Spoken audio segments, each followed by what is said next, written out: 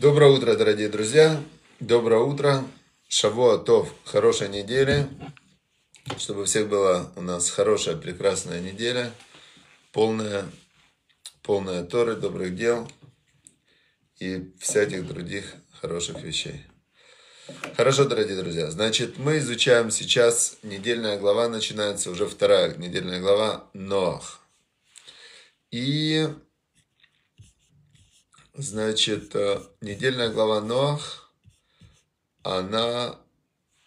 Давайте я подведу итог первой главы Берешит. Значит, в первой главе недельной Берешит нам рассказал Всевышний о том, что как был сотворен мир, как был, как был сотворен первый человек, как была сотворена женщина, какие, э, как они изначально были в, в таком месте, которое называлось Ганеден Рай, и как Всевышний дал им одно, одно, одну заповедь всего, да, от дерева познания добра и зла не ешьте. В тот день, когда вы поедите от дерева познания добра и зла, вы станете смертными, сказал им Всевышний. И они поели, и они были изгнаны из рая и стали смертными. Когда они стали смертными, у них появилось, э, родилось два сына, Каин и Эвель. Каин убил Эвеля, представляете? Потом, значит, э, после того, как Каин убил Эвеля, еще хуже все началось, они начали служить идолам, они начали вообще полностью нарушать все, что Бог сказал людям делать. И в итоге остался из праведных людей на земле один Ноах. Один, один человек остался, Ноах и его семья. И Всевышний сказал, что все, значит, я вынужден мир уничтожить. Мне очень жаль, что люди выбрали такой путь. Но, значит, мне придется стереть тогда мироздание.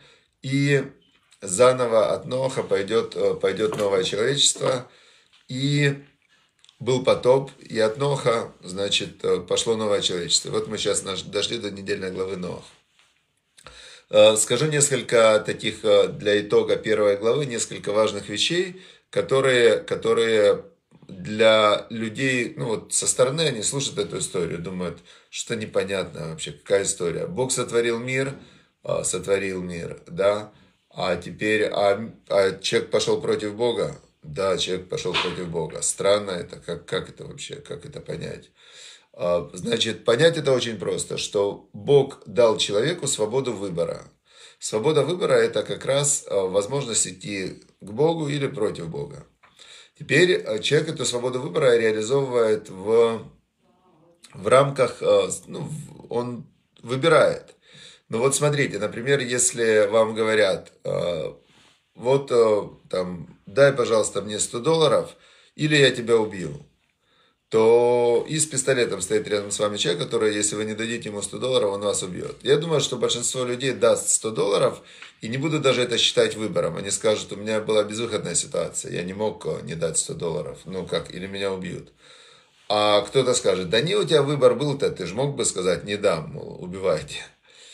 Выбор – это когда у тебя есть две равных возможности, и ни одна из них особо не перевешивает другую. И вот в первом человечестве, почему Бог хотел уничтожить, почему Бог стер первое человечество, там выбор был э, неравный.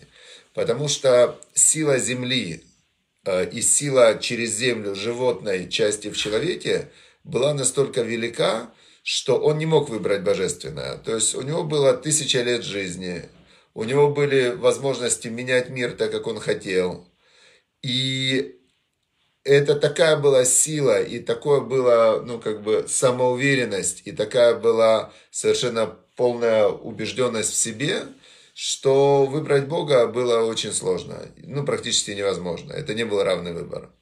И Бог, видя, как люди выбирают, они знали о Боге, при этом они знали о Боге, но они выбирали идти по влечению своего сердца.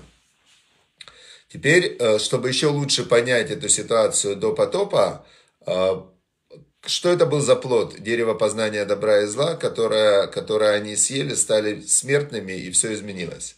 Значит, когда они были в раю, у них было абсолютно ясное восприятие реальности. Абсолютно ясное, вот, что вижу, то пою. То есть было абсолютно... Он видел суть вещей, но не но, а только суть вещей. Видел Адам решен первый человек. И там было такое дерево в саду, какое-то галлюциногенное это дерево. Мудрецы Торы есть четыре разных традиции, что это было за дерево. А, но самое такое близкое это виноград. Но напомню, это не тот виноград, который был, есть сейчас. Хотя сейчас из винограда делается вино, которое тоже меняет сознание.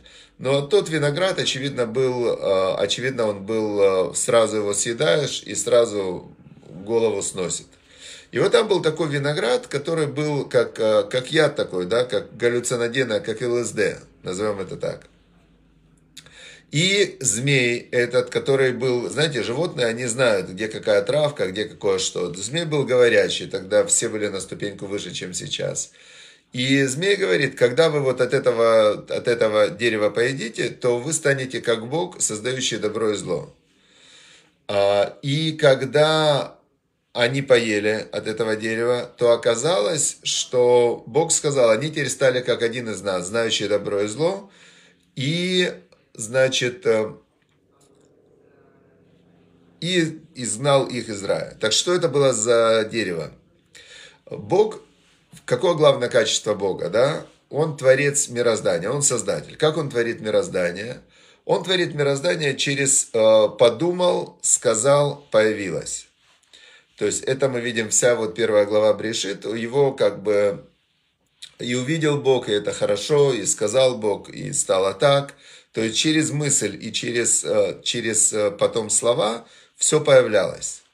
Теперь человек, когда съел от этого дерева, он получил это же качество, божественное качество сотворения, и он начал выдумывать. Сразу после того, как они съели от этого дерева, то они были голые и не стеснялись. Почему? Потому что вот, вот голые, и все. Вот голый, и все. А когда у человека появляется возможность ледомьен воображения, выдумывать, представлять, э, добавлять, э, творить, да, то, что мы делаем все время в мыслях, мы все время добавляем к словам, к миру, к картинке, мы все время добавляем свой комментарий какой-то. И мы представляем, человек один хочет одно, другой другое, один называет э, добро злом, а второй зло добром. Это все сила воображения, все живут в воображении. Так вот, до того, как они съели от этого дерева познания добра и зла, у них не было воображения. Они видели, как есть. Вот вижу, и все. Теперь, но так как у них Бог вдохнул в них свою душу, и когда у них появилась сила воображать, они тут же начали выдумывать себе разные «Вау, мы голые, и что, стыдно? А что тебе стыдно? Потому что, и тут пошла раскадровочка, да?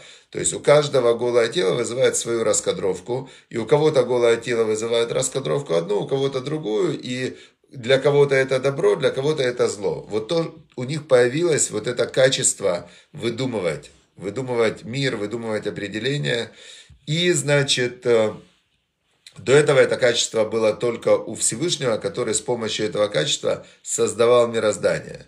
Но когда у человека появилось это качество, до чего они додумались? Они, вся плоть на земле извратила свой путь. Они додумались, что оказывается, вот сейчас мы видим, какое проявление этого качества. Какой-то шизанутый человек, да, абсолютно шизанутый.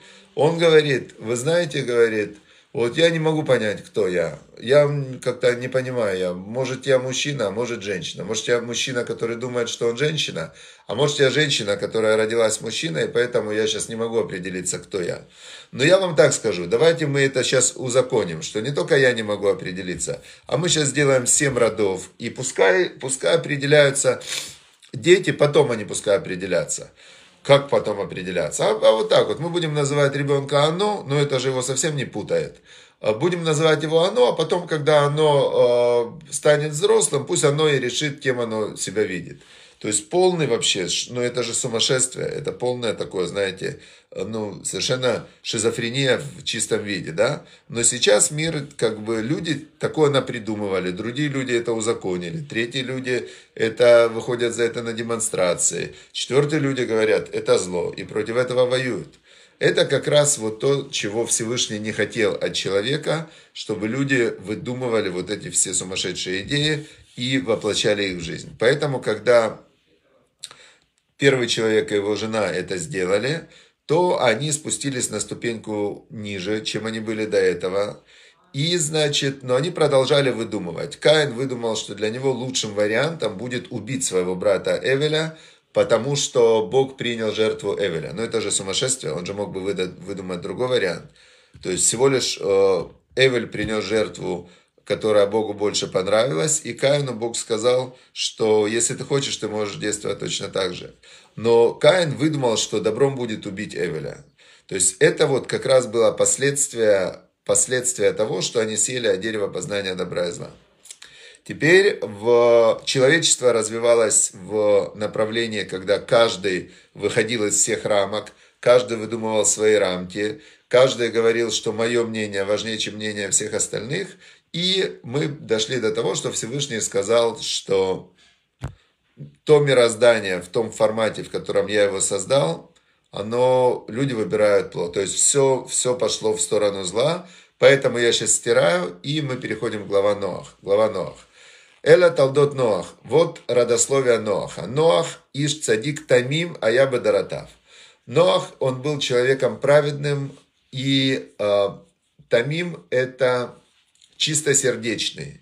Он был праведным и чистосердечным в его поколении и перед Всевышним, перед Всесильным и Талех Ноах. А, перед Всесильным ходил Ноах. Значит, мы здесь видим три его характеристики. Первое, это он был цадик. Второе, праведник, он был чистосердечный. Третье, а, добавляет нам Тора, что это в своем поколении. И четвертое, что он перед Всесильным ходил Ноах. И вот здесь очень интересный момент. В устной Торе мудрецы спорят. Когда написано в своем поколении, а, что имеется в виду? Что если бы он был в другом поколении, в поколении Авраама, он был бы еще больше праведник? Или если бы он был в поколении Авраама, он был бы меньше праведник, он вообще не был бы праведник? Одни говорят, что то, что написано в поколении, это значит, что если бы он был в поколении Авраама, он был бы меньше праведник, а другие говорят, был бы больше праведник. И здесь э, в, очень нужно понять нюанс этот, который для нас очень важен. Вот смотрите. Как человек становится праведником, если мы зададим этот вопрос? Праведником он становится по собственному выбору. И второе, у него есть э, какая-то внешняя поддержка, чтобы быть праведником. То есть э, тут есть два вот этих вот важных параметра, как быть праведником. Например, если, например, Хана Хайдер, да, она решит стать праведницей, вот искренне решит, и она для себя примет решение на тысячу процентов действовать только по Торе, то это будет 50% успеха. Но если у нее появится какой-то э, духовный там учитель, раввин, который будет ей помогать, который будет ее направлять, который будет ее поддерживать там и так далее, то тогда вторые 50% тоже добавятся. И тогда она будет праведником. Теперь Ноах, мы знаем, что он был один. Не было вокруг ни одного больше праведника. И задается вопрос, если бы он был в поколении Авраама, когда он э, видел бы Авраама, у него был бы как учитель, да, когда были бы другие праведники, это помогло бы ему или это не помогло? И тут есть э, такое очень красивое сравнение. Саба Миновардак, он сказал, что Смотрите, говорит, вот если человек едет во время войны в первом классе в вагоне, да, он жил во время Первой мировой войны, то мы не знаем, или он богатый, или не богатый. Может, просто не было билетов, и это был единственный способ ехать. Поэтому он в первом классе. Но если он в мирное время едет в первом классе, значит, он богат, у него есть достаточно свободных денег, и он может себе позволить ездить в первом классе. Теперь Ноах был единственный в то время праведник, и, возможно, у него выхода другого не было. То есть он понимал, что если я не буду праведником, мир исчезнет. В этом случае, значит, он был вынужден быть праведником, а во времена Авраама, может, он бы решил бы, есть Авраам, есть другие праведники, я могу отдохнуть. То есть в... они спорят вот по его психологическому настрою, почему он решил быть праведником. Еще есть интересно, на второе слово обратите внимание, что он был чистосердечный. И об этом говорят так, что если бы он был во времена Авраама, когда праведность ценилась, Авраам его называли, что ты, э, значит, э, как его называли, Наси Элоимата, что ты э, князь Бога, ты его уважали, Авраама, его почитали, он был богатый, он приходил То есть люди уже в то время, когда был Авраам, они праведность ценили после потопа. Но когда был Ноах, он был вообще абсолютно изгой. То есть мир, они жили по тысячу лет, они могли менять вообще все мироздание. Иной, который был просто простым нормальным человеком, который не делал зла, который ничего особенного не стремился, он себе жил спокойненько, да, он был такой, как вообще, ну, изгой. И Чистосердечное – это когда человек служит Всевышнему без, во имя небес, лишем шамаем, то есть без всяких э, дивидендов в этом мире, без э, почета, без славы, без уважения. Потому что когда человек в этом мире, он дает деньги, например, на синагогу, его потом э, вешают вот такую табличку, то здесь есть с одной стороны, его духовное достижение, он дает деньги. С другой стороны, он э, получает почет и уважение, что очень приятно. И вот здесь, насколько он чистосердечный, сколько в его сердце э, желания давать и выполнять заповедь ради заповеди, ради Всевышнего, а сколько ради уважения и ему приятно, есть вопросы, только Бог это знает. Но Ноах, мы знаем точно, что он был безупречный, и он это делал только ради служения Всевышнему. В общем, мудрецы, они э, как раз спорят о тех, э, о тех факторах, которые, которые влияли на то, что Ноах был праведник и чистосердечный. И одни говорят, что факторы ему помогали, другие говорят, что факторы ему мешали. И если бы факторы ему... Ну, то есть, поэтому одни говорят, что то, что он был в этом поколении, вау, это вообще достижение. Другие говорят, ну это только в этом поколении он был праведником, в другом бы он не был. Но ни, ни те, ни другие не знают, а, как правильно, потому что мы, мы знаем точно, что он был праведник и он был чистосердечный. Но их рассуждение, их спор важен нам всем. А почему мы праведники, для чего мы праведниками. Ну вот мы знаем, что он был праведник, перед Богом ходил Ноах, он выполнял то, что Бог ему говорил делать. То есть э, заповеди, которые были даны еще первому человеку, это нельзя брать чужое, нельзя убивать. То есть он выполнял простейшие вещи, которые все человечество не выполняло. Вайлет Ноах Шлуша Баним. Родилось у Ноаха три сына. Шема, одного звали Шем, второго звали Хам и третьего звали Яфет. Это три сына было у Ноаха. Вати шахат аарец лифне Элаим. И извратилась земля перед Богом, ватимале аарец хамас. И наполнилась земля грабежом. Значит, что они делали? Тишахет это было идолопоклонство, то есть они, э, они служили, но на их уровне, когда они своими мыслями могли менять реальность, они создавали условия, при котором э, идолопоклонство начинало влиять. Что это значит? Вот смотрите, был, э, изначально есть Бог, Творец, да, Бог, тот, кто сотворил все мироздание. Есть всесильный, это уже само мироздание, которое действует по законам Бога, в котором есть все силы, все законы природы и так далее. Это все проявление Бога, которое Он сам создал. Теперь, что сделали э, поколение, которое было первое поколение до потопа?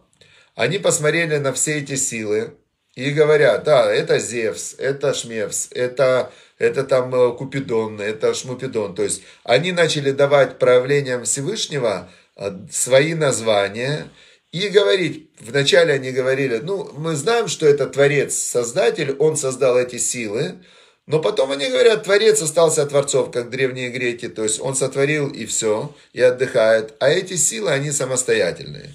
И они начали поклоняться отдельно вот этим вот э, силам, которым они своим поклонением, своей верой в то, что эти силы, они что-то могут делать, они давали, то есть они давали, э, они действовали в этом мире, исходя из предположения, что эти силы могут, э, имеют силу. А так как человек, это, произвед... это как по образу и подобию Бога, то их вера, она, она мир полностью извратила. То есть они служили идолам, а вода зара – и они занимались развратом. Это тоже э, второе значение слова «извратилось».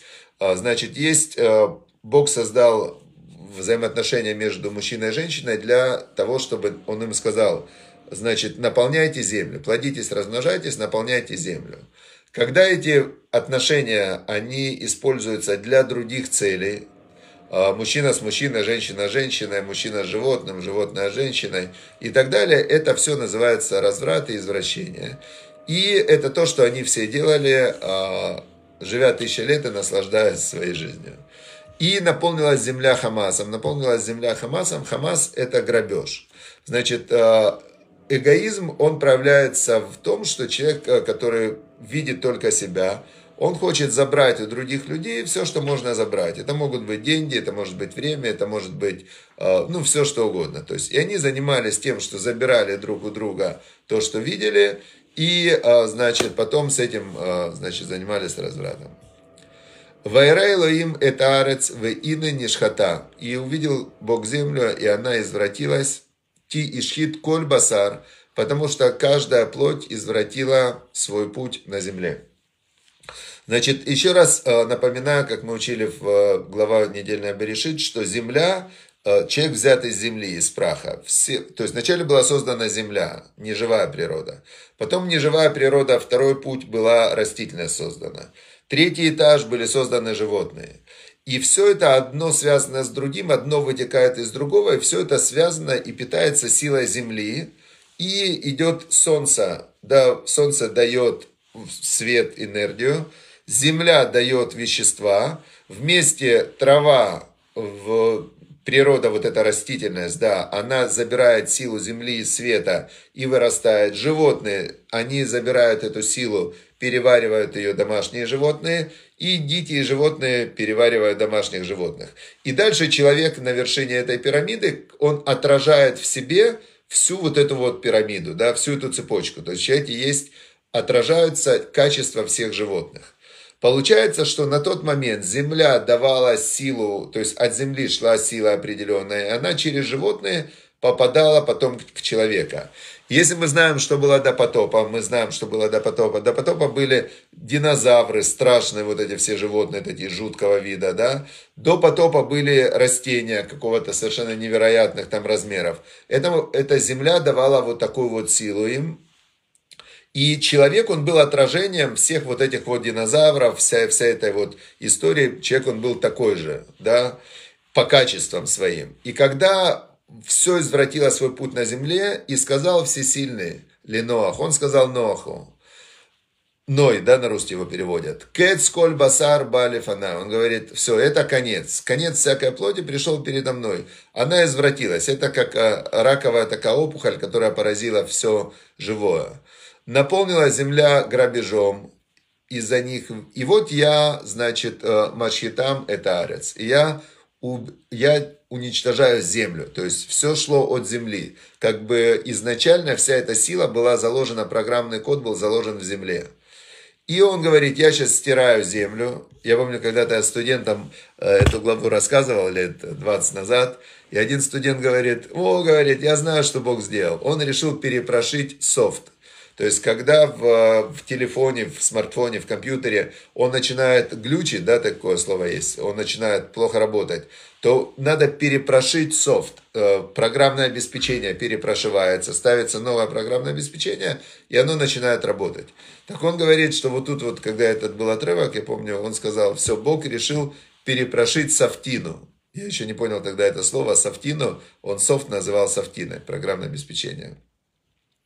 И дальше он сказал, а, он сказал, что Ноху, он сказал, что делать. Сделай себе ковчег из а, дерева гофер, сделай его. И дальше он объясняет, какой должен быть ковчег, что он должен быть 300 локтей длина ковчега, это 150 метров примерно, да, 50 локтей ширина, 30 локтей высота, наверху должно быть э, такая, как окно. Значит, он ему объяснил, как сделать этот ковчег, а я вот, он говорит, вани ныне мвиета мабуль, а я навожу потоп. Мабуль это потоп, как такой, как цунами, ну, когда вся земля поднялась, дальше мы узнаем, потоп воды на землю для того, чтобы стереть все, всю плоть, которая, в которой есть дух жизни, и, значит, э, все, что на земле погибнет, он сказал, я все сотру. Ватиматет Бреси и Тах, он сказал, а я установлю свой союз с тобой, с Нохом. Убата эля тайва, и придешь ты в ковчег, ты и сыновья твои, и жена твоя, и жены сыновей твоих. Значит, и от всего живого возьми по всякой твари по паре. Помните это вот отсюда как раз. От всего, э, от всего живого, у Миколь Ахай, от всего, в чем есть жизнь, Миколь Басар, от всего, от каждой плоти, Возьми шнаем, возьми двоих. Миколь, от каждого вида возьми двух особей. Мужского и женского пола будут они. То есть нужно было выбрать тех, которые не испортили свой путь, которые были еще ну, нормальные. От птицы по виду ее и так далее. Возьми от всего живого и возьми пищу, которую они едят, чтобы было тебе и им в пищу. Ваяас Ноах кеколь ашер цива ото Элоим. И сделал Ноах все, как приказал ему Всесильный, Кенаса, так он и сделал. В этом и есть суть праведности, делать то, как Бог сказал делать, так мы и должны делать. Все, спасибо вам огромное за то, что присутствовали сегодня на уроке. Давайте сделаем выводы, да, какие можно сделать выводы, что в служении Всевышнему важно быть сосредоточен. Но в чем был молодец? Он был сосредоточен на служении Всевышнему, он делал то, что Всевышний сказал делать, он был тамим, он был чистосердечный, он это делал ради служения Всевышнему, и он один остался на земле, его потомки, мы все потомки Ноаха, то есть вот все человечество сегодня, мы все потомки Ноаха. Все, всем удачи, успехов, хорошего дня, чтобы Всевышний услышал ваши молитвы, и чтобы мы в, в этом вот э, человечестве, которое тоже сейчас во многом извращает свой путь, чтобы мы остались, э, шли по прямому пути, по прямому, нормальному, классика, чтобы были стрейт, классические, прямые, чистосердечные и служили Всевышнему. Все, всем удачи, успехов, и чтобы Всевышний услышал ваши молитвы. Урок для Рифа Шлама, чтобы было полное выздоровление Моши Бен Ирина, Рита Бадбася, и все, кто сейчас, э, чтобы выздоравливающие, все ваши близкие, чтобы тоже они выздоровели, и, значит, э, чтобы Всевышний услышал ваши молитвы для вашего блага. И, естественно, мы все молимся за то, чтобы война быстрее завершилась, и чтобы наступил мир и радость, и, в общем-то, все люди нормальные хотят жить, радоваться в мирно, мирно и хорошо. Все, удачи, успехов, до завтра.